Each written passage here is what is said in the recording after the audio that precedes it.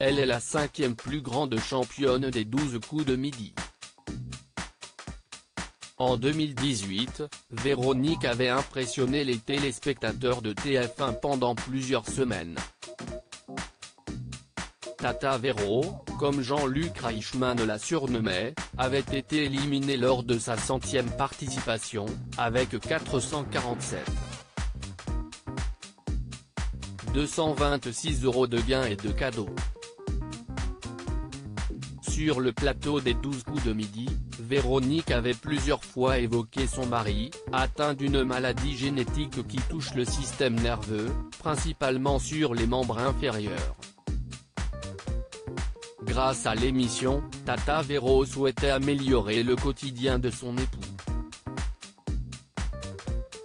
On cherche une maison de plein pied, confiait la championne. Pudique, elle a ensuite vécu un drame, la mort de son mari. Quelques mois après cette tragédie, Véronique a fait son retour télévisuel dans le quiz des champions, remporté cette année par Francis. Et elle aimerait bien y revenir, comme elle l'a confié à Télé Loisirs. Réservée, elle a brièvement évoqué le décès de son époux. Mon mari étant décédé, je suis un peu plus libre. J'aimerais voyager. Si l'invitation tombe en dehors d'un voyage, pourquoi pas? A-t-elle répondu à nos confrères. Sur le plateau de TF1, Véronique avait plusieurs fois ému les téléspectateurs au sujet de son mari, Olivier. La maladie génétique dont il souffre touche le système nerveux. Il commence à ressentir des douleurs à un bras. Il est contraint d'utiliser un fauteuil électrique, avait-elle raconté, en fondant en larmes. Véronique, j'ai passé six fois le casting de Tout le monde veut prendre sa place mon mari est à l'hôpital depuis quatre mois.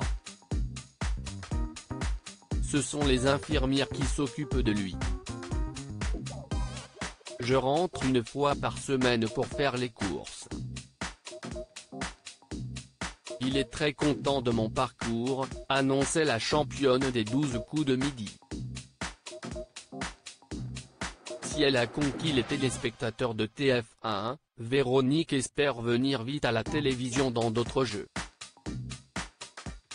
Depuis 2009, j'ai essayé mot de passe, slam, joker, et je me suis inscrite également à Money-Drop. J'ai passé six fois le casting de Tout le monde veut prendre sa place. J'espère toujours y participer. Si est un jeu que j'aime beaucoup, assurait Tata Vero à Télé Loisirs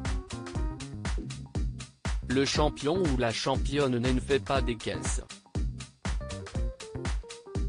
Et j'aime beaucoup Laurence Boccolini. Loading Widget